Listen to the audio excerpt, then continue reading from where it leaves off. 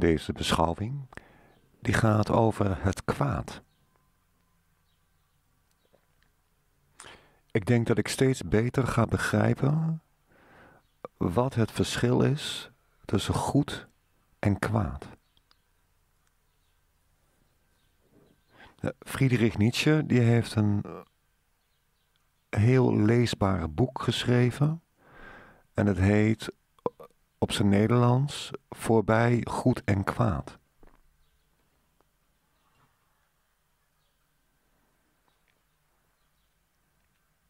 Je kan wel een beetje aanvoelen waar die op duidt. Hè? Dat... Want natuurlijk is het zo dat er iets voorbij gaat aan goed en kwaad. Namelijk God.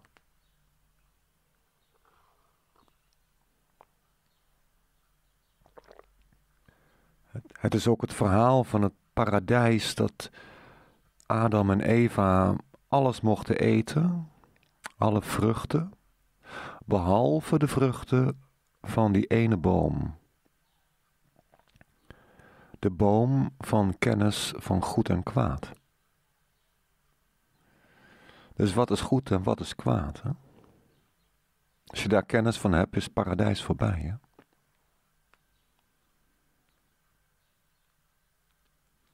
En als je kennis hebt van goed en kwaad, dan word je God gelijk. Dat zegt uh, de slang tegen Eva.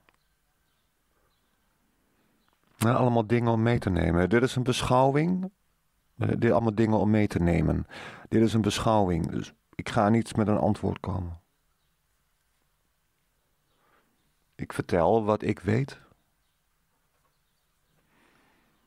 Wat mij is opgevallen. En dan kan je het hebben over het goede. En dat doe ik vandaag niet. Ik ga het hebben over het kwade. Ik, ik, ik had een collega en die was verantwoordelijk voor de backups van de databases die wij draaiden, commerciële. Um, in een database, daar zitten alle gegevens in van, in, in ons geval, bedrijven. Kleine bedrijven, grote bedrijven, zeg het maar. En elke dag moeten die gegevens, uh, er moet er een kopie worden veiliggesteld voor het geval. Dat, ja, dat kan maar zomaar wat fout gaan, hè? En die kopie die moet op een andere machine staan. Want als die hardware uitbrandt. Ja, die kans is natuurlijk niet groot, maar, maar er zal maar wat gebeuren met zo'n computer, met zo'n harde schijf. Als die harde schijf niet meer leesbaar is, eh, ja, wat moet je dan tegen je klant zeggen? Al je gegevens zijn weg.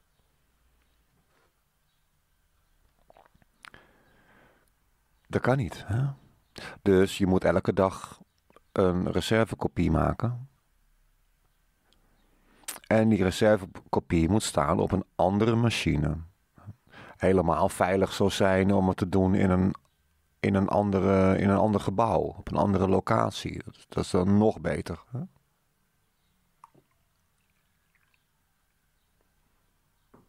Maar laten we voorlopig uitgaan van een andere machine. Nou, en hij was verantwoordelijk voor dat dagelijkse backuppen.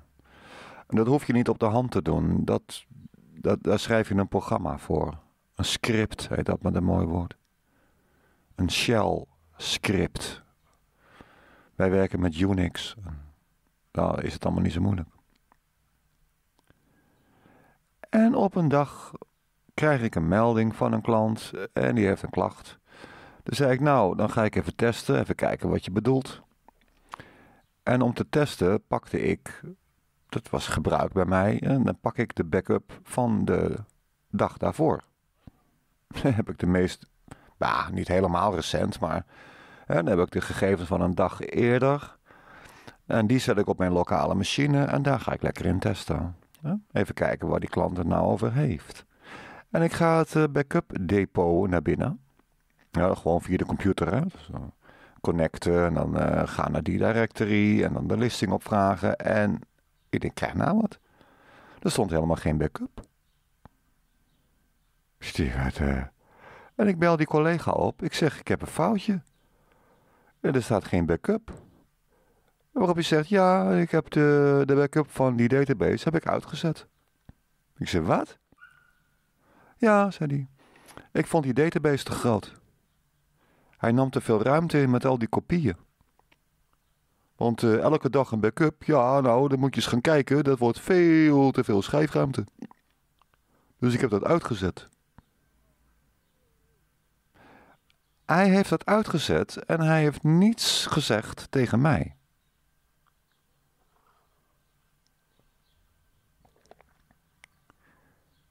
Hij is dan ook zo iemand die dan vindt dat uh, het gaat om een klant van mij.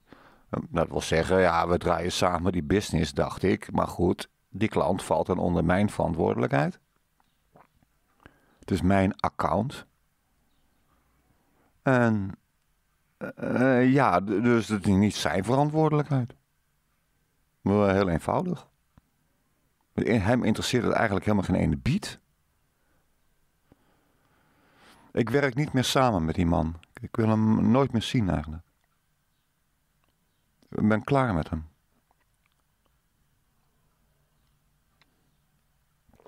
Toe, wat is het voor een gedrag? Het risico wat hij nam, dat is uh, onvergeeflijk. Punt. Dat mag je helemaal niet doen. Hij mag constateren dat die backup niet past. En dat hij een probleem krijgt met de schijf, de schijfruimte op de harde schijf. Dat mag hij vinden. Dan had ik gelijk tegen hem gezegd van ja, uh, jij, hoeft, uh, jij moet elke dag een reservekopie draaien met je script. Maar van een maand geleden hoef ik niet van de hele maand elke dag, van elke dag van de, van de vorige maand hoef ik geen reservekopie te hebben. Van de afgelopen maand vind ik het genoeg dat alleen de backup van de laatste dag van de maand er staat. Dat scheelt je dus 30 backups per maand, gemiddeld.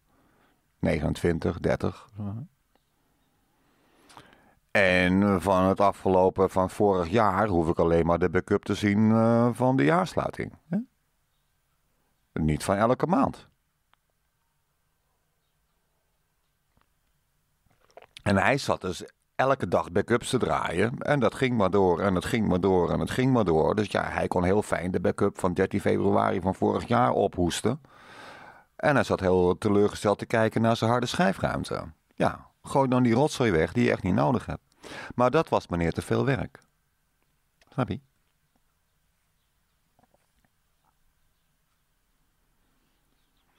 En op die manier uh, ja, kan je geen business draaien. Als er niet eens overlegd wordt. In zo'n geval. Want ik snap dat zijn harde schijf vol loopt, maar dat is verder geen punt. Maar doe het dan wat dan? En dan moet je inderdaad even gaan programmeren. Of je, of je moet zelf uh, dat backup depot uh, induiken en in je agenda zetten dat je dat iedere maand moet doen. En dat je al die rotzooi die je niet nodig hebt, dat je die dan handmatig weggooit. Vind ik ook best. Moet hij zelf weten. Ik zou gaan programmeren, want ja, hij is toch programmeur, dus. En dat doet hij dan niet. Kijk, dat is het kwaad.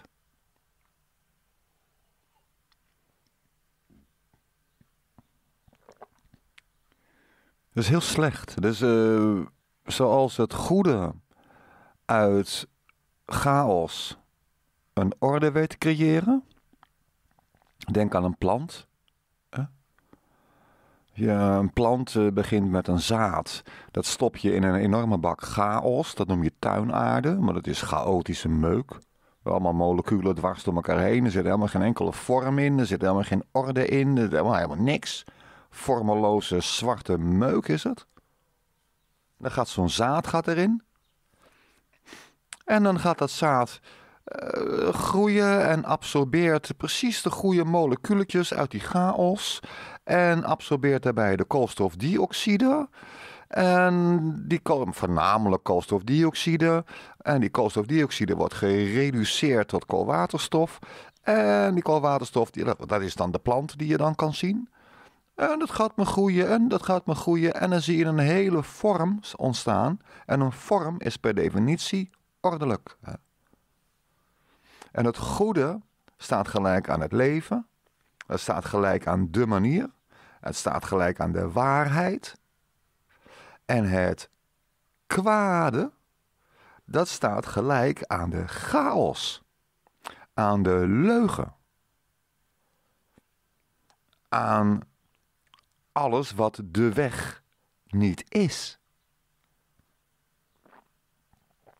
Wat mijn collega deed, dus die backup zomaar uitzetten, dat had heel erg lelijk af kunnen lopen.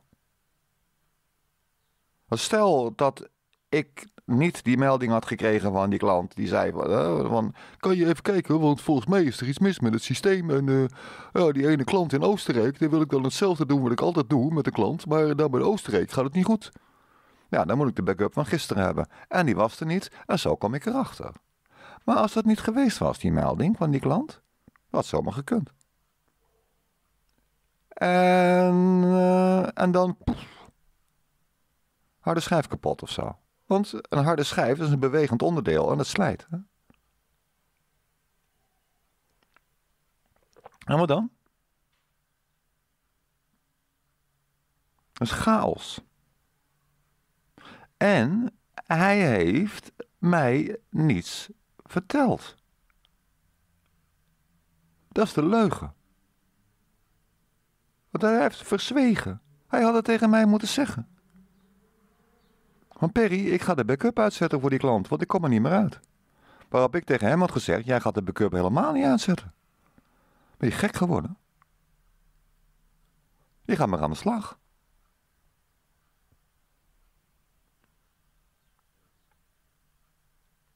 Dat is wat ik zei, dus die, die, uh, het leven, het goede, dat is de manier, dat is de waarheid.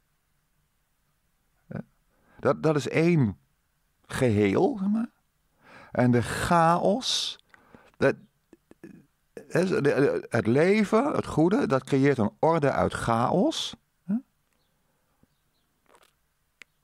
En het kwaad creëert een chaos binnen of op basis van een orde. Ja, zo dadelijk uh, heeft die man, uh, die heeft helemaal geen databases meer die hij hoeft te backuppen. Dan is hij gelijk in één, keer, in één keer van zijn probleem af. Dan is die orde er niet meer. Dan zijn die klanten er niet meer. Dan is er niks meer te factureren. Dan, dan is staat hij helemaal alleen. Dan is die orde er niet meer. Dan kan hij er ook geen puinhoop van maken. Snap je?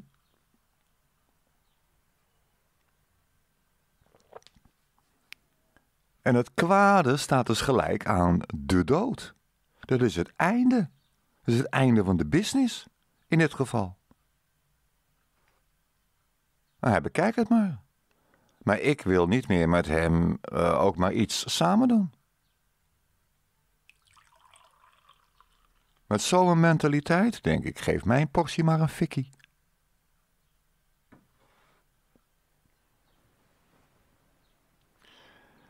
En kan je dat uh, ten goede keren? Nou, ik zou niet weten hoe. Echt niet. Ik zou niet weten hoe je die man moet uitleggen dat hij dat wat hij gedaan heeft nooit had mogen doen.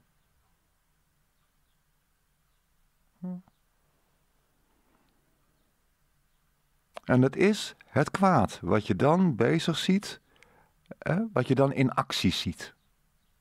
Het kwaad. Het zaggerijn, kan je het ook noemen.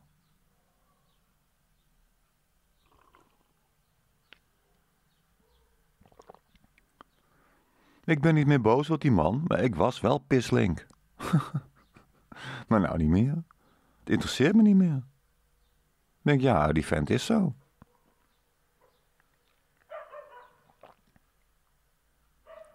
Is dat mijn probleem? Nee, waarom? Is het vervelend voor mijn klanten? Want eh, ja, wat ik gedaan heb, uh, ik, ik, ben er helemaal mee gestopt. En, uh, en hij mocht al mijn klanten hebben. Het is wel mooi geweest. Maar in mijn eentje wilde ik de business niet gaan draaien. En hij wil dan kennelijk allemaal in zijn eentje gaan spelen. Nou, hier ga je gang. Je neemt alle klanten maar en bekijk het maar. En op termijn moeten die klanten maar weg bij hem. Tja. Die gaan maar ergens anders naartoe. Maar het idee om samen met zo iemand een bedrijf uh, leuk omhoog te werken en geinige dingen te gaan doen. Nee, dat gaat niet. Want hij is kwaadaardig.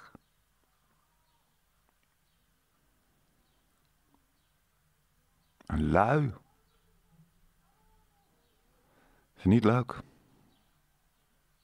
De moeder van mijn kind uh, ben ik ook enorm boos op geweest.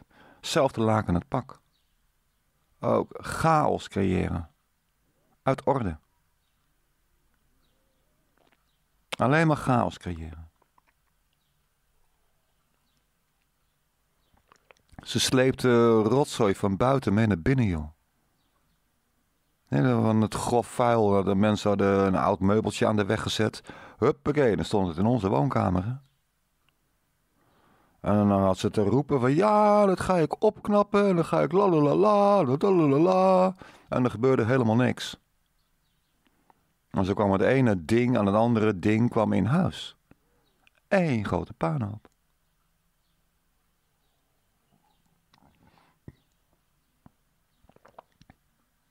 En alles kapot maken. En liegen. Zo, die kon liegen, jongen. Wauw. Dat is verbijsterend.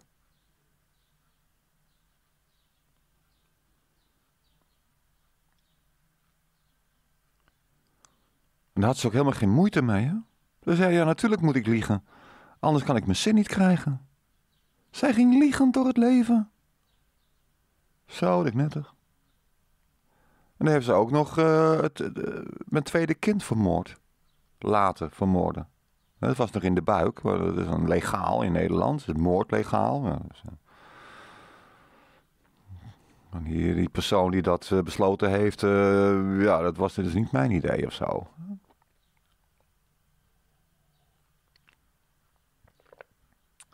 Maar dat mag dan in Nederland. Mag je zo een ongeboren kind laten vermoorden. Dat heeft ze ook nog gedaan. Dat is gewoon het kwaad. Dat is chaos.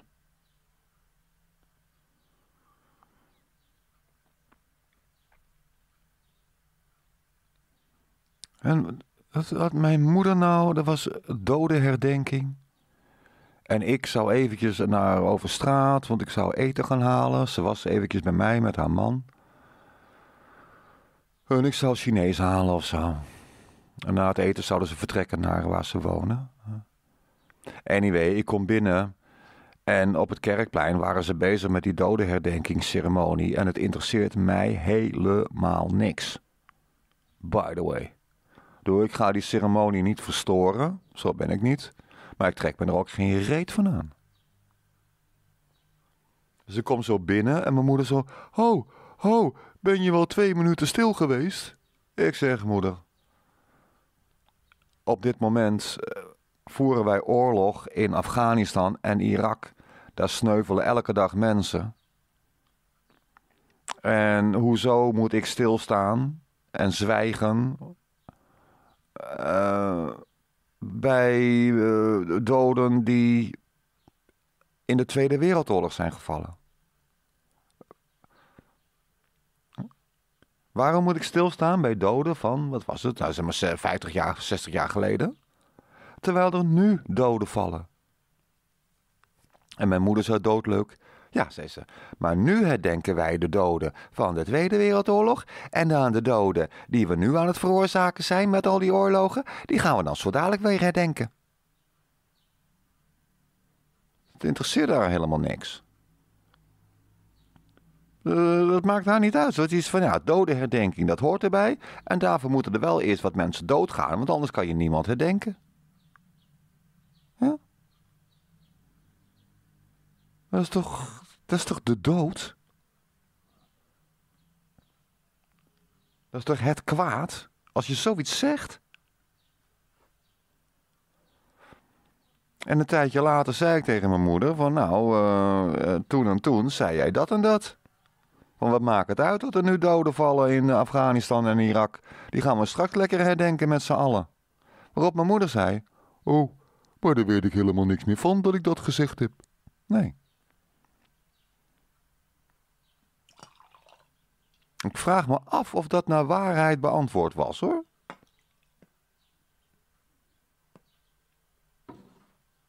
Maar in elk geval is dat behoorlijk chaotisch, dacht je niet?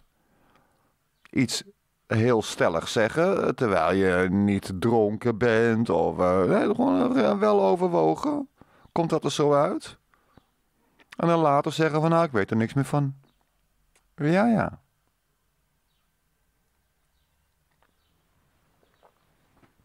En ik moet dat geloven? Ik vraag me af.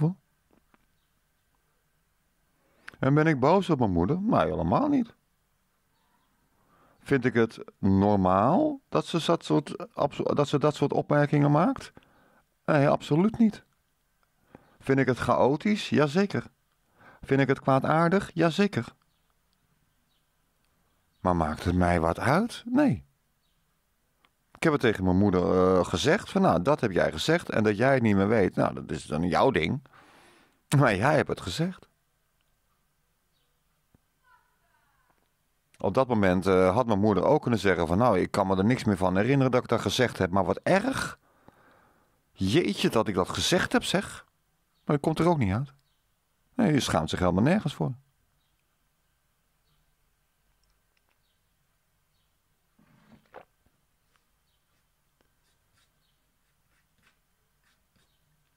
Dat is, dat is het kwaad. En dat, ja, daar kan je geen piet aan doen. Echt niet. Je kan, je, je, je kan het anders willen, dat wel. Maar uh, je, kan er niks, je kan er niks aan doen.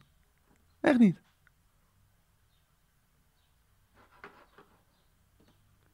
Ik zou niet weten wat.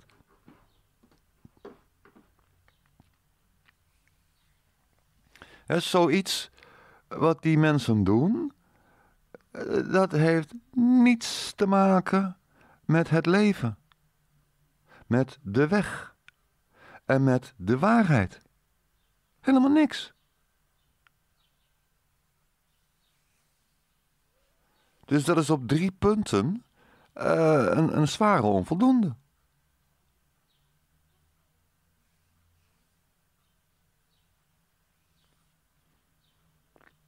En wat moet jij ermee?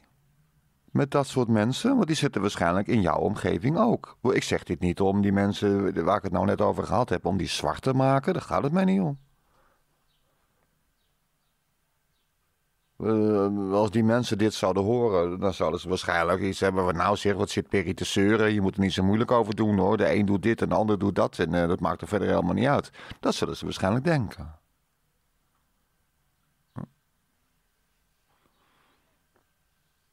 En daar gaat het om.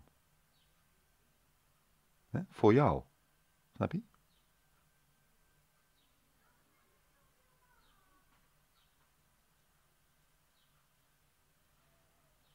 Dat jij dat snapt.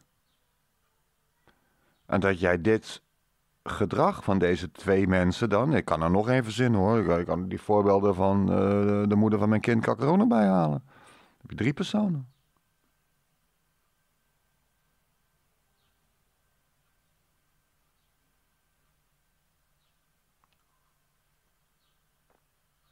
Ik kan, uh, mijn zus, kan ik er ook zo bij halen. Die heeft ook van die leuke opmerkingen. Uh, contact tussen mij en mijn zus.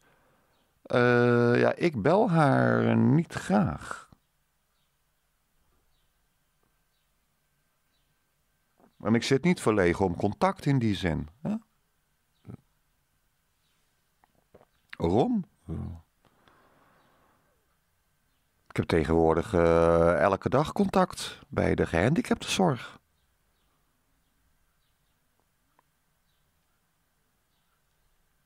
Dus er is voldoende contact in mijn leven. En zit ik dan te wachten op contact met mijn zus? Ja, ik zou het hartstikke leuk vinden. Alleen, zij zegt van die gekke dingen. Er stond in de krant bijvoorbeeld dat ze van plan waren om kleine kinderen vanaf vijf jaar uh, te gaan leren masturberen via het verplichte onderwijs. Dus je kind krijgt dan verplicht masturbatieles. Maar ik vind dat om te kotsen.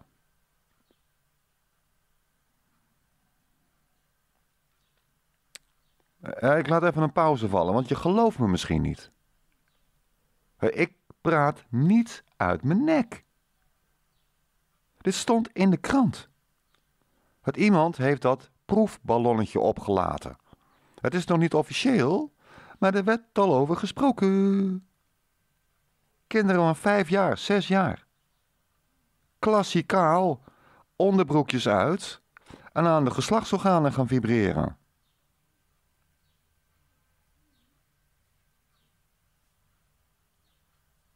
En mijn zus die werkt in het onderwijs. En die moest erom lachen.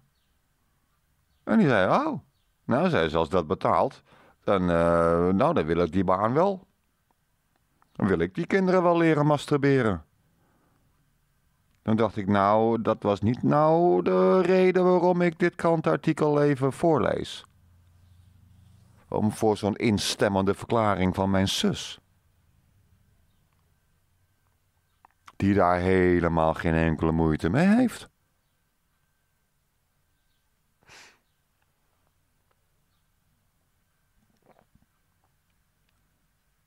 En dan ligt haar mening en mijn mening, dat ligt zo ver uit elkaar.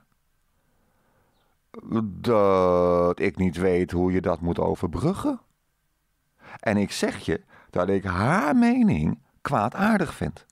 Want dat leidt tot chaos. Kinderen leren masturberen leidt tot chaos. Ik laat nog even een pauze vallen, maar wat mijn moeder ook laatst tegen mij zei, ja Perry, weet je wat jouw zo'n punt is? Dan heb jij soms uh, een, een, mening en uh, dan heb ik een andere mening of iemand anders heeft een andere mening en dan ben je niet van je standpunt af te brengen. Ja, Waarbij mijn moeder dan uh, zoiets heeft van, ja, als Perry zegt dat de zon opgaat in het oosten. En, en een ander zegt, nee hoor, de zon gaat op in het westen. Nou, dan wil Perry nooit zijn mening intrekken. Nee, want de zon gaat niet op in het westen. En als je kinderen leert masturberen op jonge leeftijd, leidt dat tot chaos. En daar valt niet met mij over te debatteren. En dat komt omdat het zo is. Want het is vastgesteld. Ze hebben dat experiment gedaan. Ja, en dan ga jij zeggen, Perry, Perry. Ja, ja, ja, waar, waar, dat weet je niet. Weet je, hoe weet je dat dan? Ja, maar dat weet ik. En dat hadden jullie ook kunnen weten. Maar jullie weten het niet. Omdat jullie, ja, of je weet het dan toevallig wel, maar iemand als mijn moeder. Denk je dat mijn moeder het internet op gaat om dan, als ik dan haar zou zeggen, van, nou kijk, dan moet je naar die en die gozer moet je luisteren. En dan moet je even zoeken, zoeken, zoeken. En uh, en dan kom je er wel bij. Je moet, uh, de, de, trefwoorden zijn uh, Alan Watts. Alan is A-L-A-N. Dan gaat mijn moeder al. Oh nee, dan kon je weer met die namen. Oh, allemaal die namen. Ja, nou, allemaal de namen. Oh, er veel namen zich. Ja, ik heb nou geen pen en papier. Ja, maar het is Alan Watts en dan W-A-T-T. En niet met een S erachter. Watts. En dan cutting through the matrix.com. En dan moet je zoeken op Bertrand Russell. En welke uitzending dat precies is, dat weet ik niet. Maar je kan ook een mailtje sturen naar Ellen Watt. En dan doe je een donatie van een paar tientjes. En dan uh, zoekt hij er wel even voor je op. Bertrand Russell is verantwoordelijk geweest voor dat experiment dat ze jongens en meisjes op jonge leeftijd hebben leren masturberen op school. Ze hebben die mensen gevolgd in hun verdere leven en wat bleek? Die mensen die op jonge leeftijd hebben leren masturberen in de klas met z'n allen, die waren niet in staat om een duurzame relatie op te bouwen. Die waren ook niet in staat om een fatsoenlijk sociaal leven op te bouwen. En ze eindigden allemaal uh, met een promiscue adolescentie, avonturen, toestanden. Eindigden ze allemaal in de goot. Of iets wat daarop lijkt. Maar ze hadden beduidend minder financieel inkomen dan uh, de blanco groep.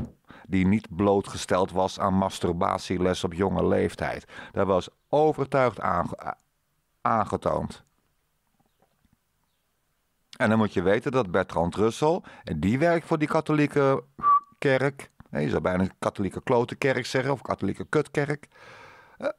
Maar uh, kut of kloten, dat mag niet, want dat zijn vieze woorden. Maar uh, Bertrand Russell werkt voor die organisatie, werkte voor die organisatie. De man is dood. En dat experiment uh, had tot doel om de, de these te... Ja, of het echt zo was. En het heeft Bertrand Russell dus aangetoond dat het zo was. En iedereen happy. En het werd op de agenda gezet van nou mooi zo. Dan weten we dat we dat moeten gaan doen. En wat staat er dan jaren later in de krant die Perry onder ogen krijgt? Dat ze het willen gaan invoeren hier in Nederland. Ja, ik ken mijn geschiedenis. Willem de Zwijger bijvoorbeeld, dat was geen vrouw, dat was een man. Dus als je tegen mij gaat zeggen, nee, maar Willem de Zwijger, dat was een transgender, was eigenlijk een vrouwtje. En die heeft zich om laten bouwen tot mannetje. En die noemen wij Willem de Zwijger. Maar eigenlijk heette die Willem de Prater. Maar dat weet ook niemand. Dat is allemaal onzin. Oh, ik ken mijn geschiedenis. Willem de Zwijger was een man en hij was een Lutheriaan en hij was fel gekant tegen die katholieke kerk. Punt. Ja, en dan moet je met mij, uh, mag je met mij best uh, over van, uh, dan mag je me vragen van Perry, hoe kom je toch aan die kennis? Dan zeg ik, nou, die heb ik van, van YouTube en van Google, van Wikipedia. Oh, En dan val je stijl achterover. Ja, het enige wat je moet doen is je moet op Wikipedia ook echt een keer gaan lezen. Maar dan kan je lezen dat Willem de Zwijger, dat was een Lutheriaan. En Luther wist dat het pausdom, dat dat staat voor de antichrist. Dat wist Maarten Luther. En met hem al de Lutherianen natuurlijk. Ja? En dan kan mijn moeder wel klagen van ja, Perry, maar als je dan, uh, ja, als je dan zelf van mening bent dat uh, Willem de Zwijger, ja, dat was eigenlijk een meisje en ja, was, uh, diep hart was die katholiek. Of zij eigenlijk dus. Nou, dan kom ik er helemaal niet in bij jou, hè. Dan, dan blijf jij mij erop hameren dat Luther, dat Willem de Zwijger Lutheriaan was, dat hij een man was. Ja, want ik heb gelijk. Ja, maar jij hebt altijd gelijk. Nee, ik heb helemaal niet altijd gelijk. Dat is helemaal niet waar. Ik vergis me ook wel eens. Ik heb ook een keer heb ik wat gezegd over koningin Elisabeth van uh, Engeland. En ik krijg gelijk een pinnige reactie van uh, Jurk. Die zegt van, hé, hey, wat je daar zei, dat is niet waar. Als je dan toch wil hebben over het Engelse koningshuis, refereer het dan op de juiste manier, AUB. Zo kweek je een hele rare indruk bij de mensen die geen verstand hebben van zaken. Dus je eigen ruiten ingooien. Nee, ik heb helemaal niet altijd gelijk. Ik vergis me wel eens, hoor. Dan zet ik ook gelijk een rectificatie erop. Ja. Maar in de regel uh, ben ik behoorlijk uh, geïnformeerd. Ja, inderdaad. Want ik ben, nou, ik wil niet zeggen dat ik goed ben. Maar ik ben toch niet zo uh, onwetend eh, als mijn zus. Ik ga geen masturbatieles geven aan kleine kinderen. Want het leidt tot chaos. Je maakt die levens kapot. Van die kinderen. Dat, uh, dat ga ik nooit van mijn leven gaan doen. En mijn zusters wel. Tenminste, dat zegt ze. En ze moesten nog bij lachen ook. Alsof ze een leuke opmerking maakte. Ook zo'n Dat was met mijn moeder ook. Dat, eh, was het ook alweer? Dat mijn moeder zei van ja, en dan kom jij met zo'n standpunt en dan is een ander het daar niet mee eens en dan kom je tegen, bij, bij jou kom je er dan niet tegenin. Waarop ik gelijk moest denken aan die keer dat de moeder van mijn kind thuis kwam met een heel leuk bericht. Want het zoontje van de kapster bij ons in de buurt, uh, die alleenstaande moeder, en die had een zoon. Nou, een vrouw kan in er eentje niet zorgen voor de opvoeding. Zeker bij jongetjes gaat dat hartstikke fout. Nou, dat jongetje was dus helemaal wild gegaan op school. Die had daar een predicaat gekregen dat hij alle dagen heel erg druk was. En de school wilde hem alleen nog maar in de klas hebben als hij onder de druk zou zitten. Dan gaan ze dus kinderen van acht jaar gaan ze drugs geven. Ja? Speed.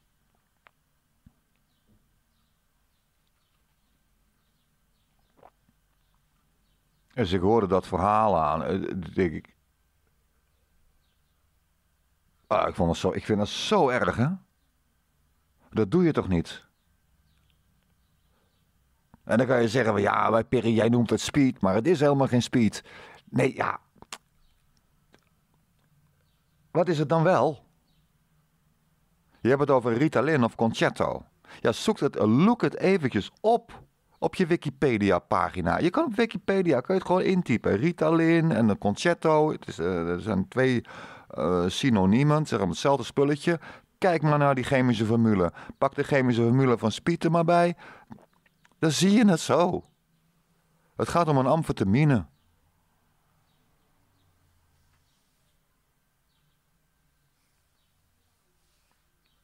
En kinderen van acht jaar, die hoor je geen amfetamine te geven. Punt. Dat die kinderen onhandelbaar zijn in de klas, ja, hoe komt dat eigenlijk?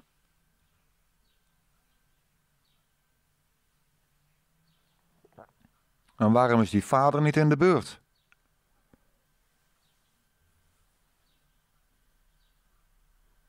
En dan is ook nog vastgesteld dat kinderen die vanaf acht jaar uh, dat middeltje krijgen, en dat is dagelijks slikken, uh, dat die vervolgens, uh, als ze een jaartje of 16 zijn, dat ze beduidend minder grote organen hebben, zoals lever, nieren, de maag. Wat hebben we nog meer? Alvleesklier, longen en ook hersenen. Die zijn ook kleiner. Alles is kleiner. Een klein beetje, maar significant. Meetbaar kleiner. En ook is vastgesteld dat ze onder die mensen die dan op jonge leeftijd al begonnen zijn met amfetamine te slikken elke dag, eh, dat als ze dan door de puberteit of in de puberteit komen, dat ze een grote kans lopen om psychotische klachten te krijgen. Dus dan krijgen ze behalve Ritalin en Concerto, wat berenverslavend is, amfetamines zijn verslavend, dan krijgen ze ook nog psychotische klachten. En dan moeten ze antipsychotica gaan slikken. En aan dat pillengebruik zitten ze dan de rest van hun leven vast.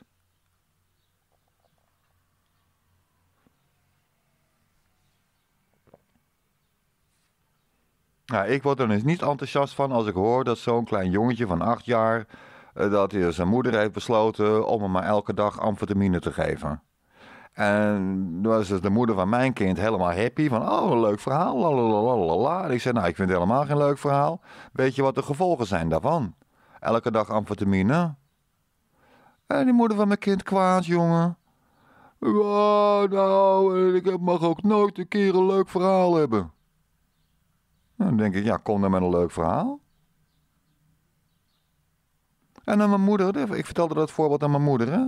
Ja, zei mijn moeder, maar de, de, uh, niet iedereen die, die weet dat soort dingen.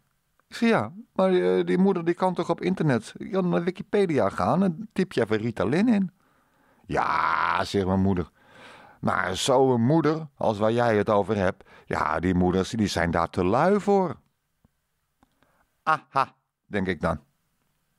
Die collega van mij die was te lui om zijn backup script aan te passen. Weet je nog? Het enige wat hij had hoeven doen was even nadenken. En dan beslissen dat hij dus die hele oude backups, die kan hij opschonen. Die kan hij 90% van wegdonderen. Dan creëert hij allemaal nieuwe schrijfruimte mee. Is die gelijk in een van zijn schijfruimteproblemen af.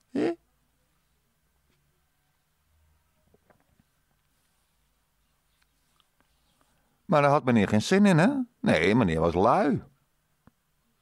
En deze moeder, dat zei, uh, dat zei dus mijn moeder dan weer, van ja, maar die moeder waar je het over hebt, Perry, uh, die is veel te lui om naar Wikipedia te gaan en daarin te typen R-I-T-A-L-I-N. En dan ook nog op de enterknop te drukken. En ja, nou zeg, en dan moet ze gaan lezen. Nou zeg, daar zijn ze veel te lui voor, die moeders. denk je, ja, waarom krijgen die moeders dan kinderen? Waarom, krijgen die, waarom kunnen die vrouwen überhaupt moeder worden? Waarom zijn ze niet gesteriliseerd?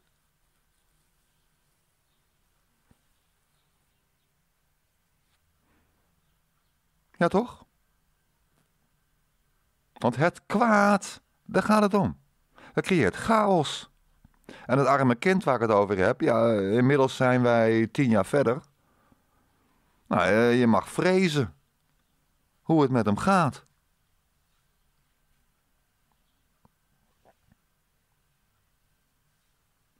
Waarschijnlijk is hij verslaafd aan de Ritalin, aan de amfetamine.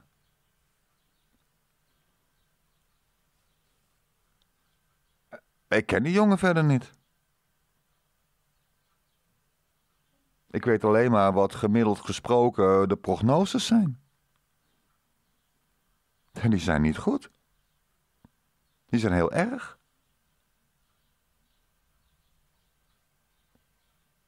Nee, dat is het kwaad. En ga maar niet zeggen dat dat iets te maken heeft met onderdrukking eh, van buitenaf door een nieuwe wereldorde of de katholieke K-kerk. De KKK. Dit heeft te maken met ons persoonlijk.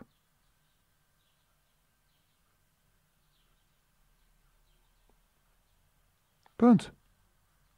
Dit kan je niet afschuiven van ja, het is de schuld van de paus. Nee, hoe kom je erbij?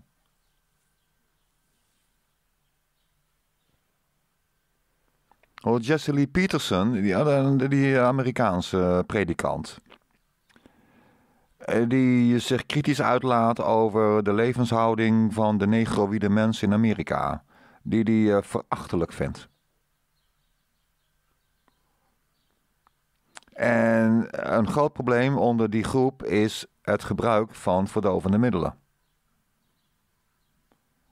En dan roepen die uh, mensen uit die bevolkingsgroep van ja, maar in de ghetto's, daar worden die drugs uh, naar binnen gereden door uh, de blanke overheersers, de, de white supremacists. En die zitten allemaal die drugs te dumpen in de ghetto's. En ja, en dan, ja, dat, is allemaal niet zo leuk voor ons, hè. Waarop Jesse Lee Peterson gewoon zegt van ja, maar die drugs worden toch te koop aangeboden? Je moet het, je toch kopen, of niet? Nou dan. Uh, moet je ze verplicht kopen? Nee, toch? Het is toch je vrije keus dat je die drugs koopt en gaat gebruiken? Dat doe je toch uit vrije keuze? Daar heeft Jesse Lee Peterson helemaal gelijk in. Doornemen eigen in, in maart van dit jaar, het is nu dan uh, bijna augustus, maar in maart van dit jaar haalde ik hier bij de supermarkt uh, elke dag zoveel liter bier. En tabak bij die leuke sigarenwinkel. En nog een partijtje wiet erbij. Elke dag was ik aangeschoten en dronken. Stronken heet dat dan. Hè? En dronken. Stronken. Elke dag stronken. En nou niet meer. Komt dat omdat de supermarkt geen bier meer verkoopt? Nee, natuurlijk niet. Ik koop het niet meer. Ik koop ook geen tabak meer en ik koop ook geen wiet meer. Klaar. Het is toch mijn keus, het is toch mijn lichaam. Snap je? Ik kan, ik kan toch moeilijk zeggen van ja, ik wilde wel stoppen met drinken, maar uh, ja, het ligt nog steeds in de supermarkt en het, uh, ja, ik, ja, ik voel me zeg wel uh, behoorlijk hulpeloos en zo. En ja, en dan koop ik het toch weer en uh, ja. Nee, natuurlijk niet. Oh, ik heb twee, drie jaar lang er gesopen als een ketelier, man. Een ketellapper. Of een tempelier. Gesopen als een ketellapper. Zeer, zeer, zeer zeker. Uit vrije keuze, hè? Punt. Daar draag ik ook helemaal de verantwoordelijkheid voor en de gevolgen en uh, ja. Nou, zo. En ik ben ermee gekapt. Nu dus. Hè? Nou, als ik ermee kan kappen, waarom kunnen die negroïde mensen dan in Amerika er niet mee kappen? Omdat slapjanen ze zijn. Omdat ze kwaad zijn. Ze zijn lui. Ze hebben geen ballen. Ze hebben geen ruggengraat. Het zijn uh, beta-mannetjes, zoals Jesse Lee Peterson zo graag zegt.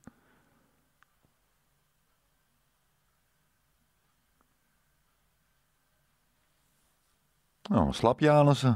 Kerels zonder ruggengraat, zonder ballen. Het is niet erg, maar uh, het is heel vervelend dat die mannen nog uh, seks blijven hebben en kinderen produceren. En vervolgens ja, kunnen ze nooit een goede vader zijn. Of ze laten die kinderen in de steek, of ze worden het huis uitgedonderd. In beide gevallen groeit dat kind op zonder vader. Ja. Dat is het kwaad, dat is de chaos. En dan een beetje de schuld geven aan de, de blanke mens die die drugs loopt te dealen. Ga er weg, man. Dat is echt idioot. Snap je? En dat is het kwaad. Het is over het kwaad. Ik, oh, ik word er zelf ook helemaal opgewonden van. als je erbij stilstaat, ja, word er gewoon uh, ja, opgewonden van. Het is niet correct namelijk. Het hoort niet. Het is slecht. Het is kwaadaardig.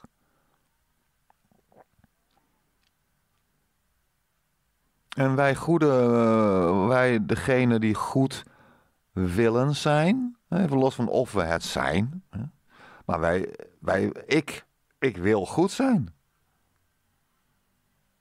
Ik wil niks te maken hebben met uh, drugs uh, geven aan mijn eigen kind. Ik wil niks te maken hebben met seksonderwijs voor uh, jonge mensen van vijf jaar.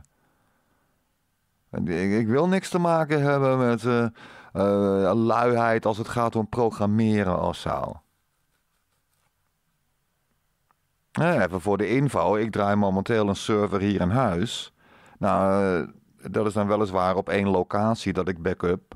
Maar er wordt gebackupt op een andere machine. En dat backup schema is dat ik van de laatste zeven dagen heb ik elke dag een backup. En dan wordt het van de laatste maand uh, elke week een backup. En dan um, tot zoveel maanden geleden heb ik uh, eens per maand een backup. En dan nog langer geleden heb ik uh, alleen de backup van het einde van het jaar. Dus in totaal heb ik 20, 30 kopieën. Want ja, ik draai de database voor Wim Kruidentuin. En dat kan altijd weer misgaan. Het kan ook zijn dat Wim uh, in zijn, uh, ja, dat hij uh, op de verkeerde knop drukt en dan krijgt hij nog een waarschuwing van weet je wel zeker dat je dit wil, want zo dadelijk gaat alles kapot. En dat hij dan zo zenuwachtig werd dat hij van de stress op enter heeft geklikt in plaats van op annuleer. Ja, dan is hij alles kwijt. Ja, dan moet hij terug naar een backup. Ja, welke backup? Ja, ik heb een hele trits. En de meest recente backup die is van gisteren. Dan even voor de zekerheid even controleren. Kijk ze een beetje elke dag kijk ik even naar. Dan kijk ze hier, de backup van die machine. Ja hoor, de backup van uh, 29 juli, dat is van vanmorgen. Die is gedraaid om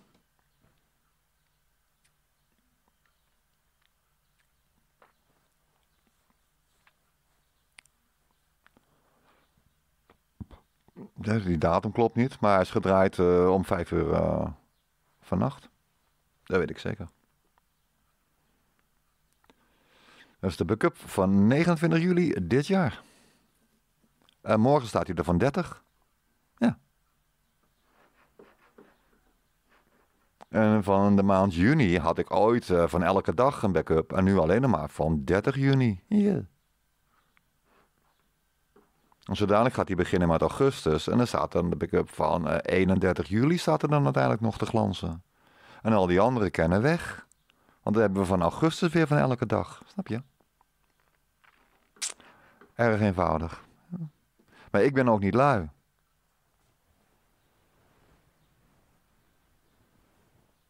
Dus ik ken mijn verantwoordelijkheid. Ik wil goed zijn. Dat is mijn wil. Ik wil zachtmoedig zijn. Ik wil begripvol zijn. Ik, dat wil ik allemaal. En lukt me dat elke dag? Nou ja, dat is niet aan mij om dat te beoordelen. Soms krijg ik een compliment. Nou, maar dat zegt ook niks.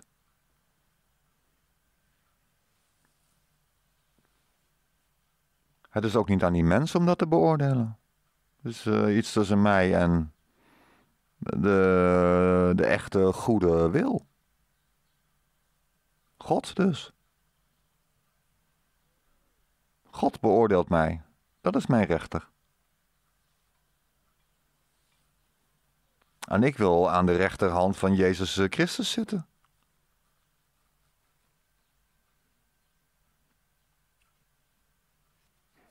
Daar wil ik leven. In zijn licht wil ik wandelen. Noem mij maar een uh, bijbelgelovende christen. Dat maakt mij niet uit, want dat ben ik namelijk. Ja. En niet lui. En zachtmoedig. Dat probeer ik allemaal te zijn. Ja. Nou. ik hoop dat jullie hier wat aan gehad hebben. In deze beschouwing over het kwaad. En dan zeg ik op zijn hamburgers: Tjus en dag lieverds, die het goede willen.